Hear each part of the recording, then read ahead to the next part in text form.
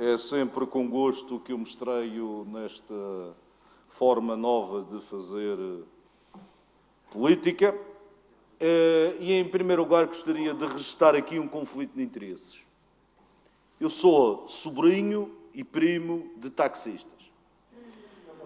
Portanto, fica registado o conflito de interesses, Sr. Presidente. E em relação a esta matéria, eu gostaria de dizer o seguinte. Eu registro com particular uh, espanto a hipocrisia de partidos como o Partido Comunista e como o JPP. É aquilo que ressalta deste debate. Uma hipocrisia absoluta. Hipocrisia porquê? O Partido Comunista, de facto, votou contra a proposta, a Lei 45 de 2018. Mas o Partido Socialista tinha um magistério de influência junto de quem governava que poderia ter ido mais longe. O Partido Comunista poderia ter ido mais longe na defesa do setor do táxi. E agora vem chorar lágrimas de crocodilo. O JPP, pelo contrário, não sabe o que quer. Mas isso já é normal. O JPP quer defender o setor do táxi. Mas o que o JPP esquece de dizer aos taxistas, como o meu tio e como o meu primo, se o JPP esquece de dizer que se não fosse feito nada neste momento, se não fosse feita qualquer adaptação a esta lei, a Uber, a Cabify e todas essas plataformas entrariam de forma completamente desregulada no mercado da Madeira, porque é o mercado que lhes interessa, e eliminaria completamente, assim, aí sim, o setor do táxi. Mas o JPP, que nos apelida de charola, porta-se nesta matéria como uma verdadeira carambola. Eu não sei se sabem, a carambola tem a ver com uh, o bater em várias tabelas ao mesmo tempo, sem qualquer consequência. E aquilo que o JPP faz é detectou, provavelmente aqui no setor do táxi, um, um pasto para ganhar alguns votos e então apresenta propostas completamente completamente desconexas. Por um lado diz, bom, o governo está a fazer mal, está a desproteger o setor do táxi.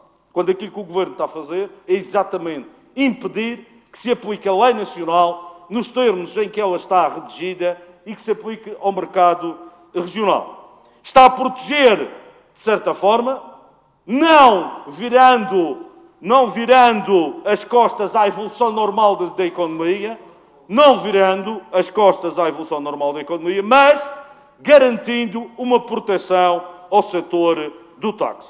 O JPP, como não tem proposta absolutamente nenhuma em relação a esta matéria, aquilo que está a dizer é que, bom, aplique-se a lei nacional e a lei nacional permite, de facto, a eliminação eh, do setor do táxi aqui na Madeira.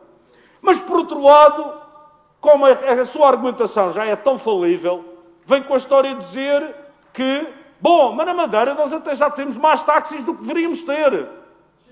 E a proposta, a pergunta que se coloca neste momento é quais são os taxistas que vão perder a licença?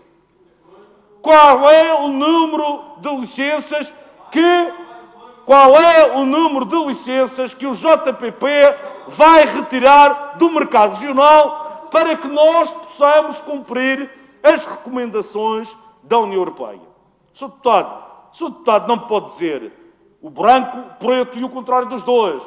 Sr. Deputado não pode fazer política nessa forma constante de aproveitar pequenos focos que possam por aí surgir. O JPP tem que ser coerente tem que ter um pensamento sobre as matérias e não pode fazer política, passear na política em constante hipocrisia.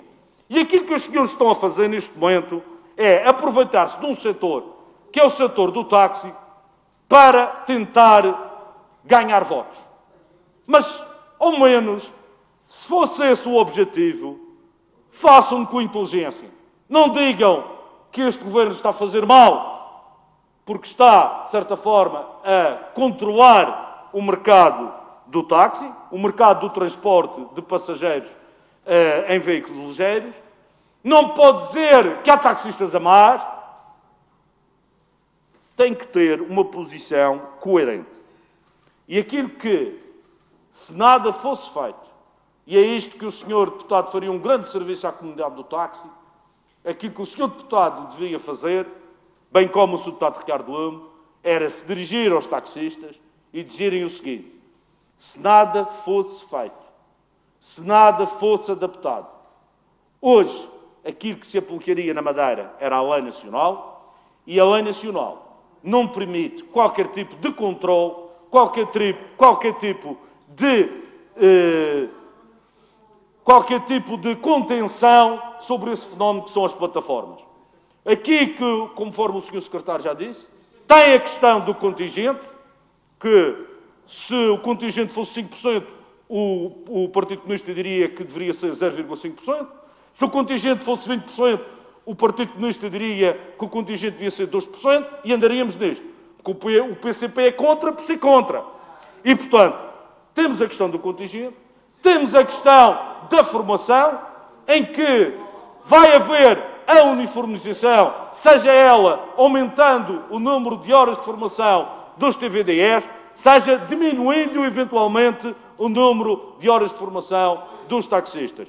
Tem a questão do transporte ponto a ponto, tem todas essas questões. Mas o PCP é contra por ser contra.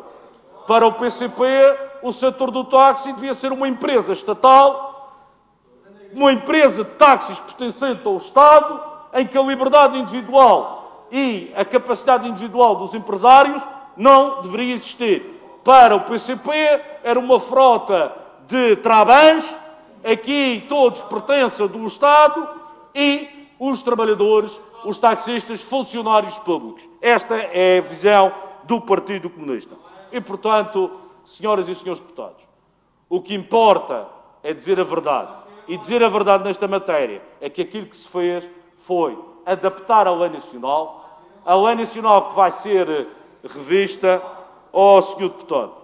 Não se preocupe com a minha máscara, porque a minha máscara é sempre igual. Eu não tenho a máscara que apoia o governo uh, numas coisas, que não faz a pressão noutras. E, Sr. Deputado, o Sr. Deputado está com remorsos, porque não fez o suficiente na Assembleia da República para impedir que a lei fosse aprovada como foi aprovada. Deputado não fez o suficiente. E, portanto, está com esses remorsos. Aqui na Madeira, o que se fez foi adaptar de maneira a que houvesse um, um grau de proteção ao setor do táxi. E é isso que os senhores têm de dizer e não tentar enganar os taxistas, os empresários do setor do táxi, com essa hipocrisia barata. Muito obrigado.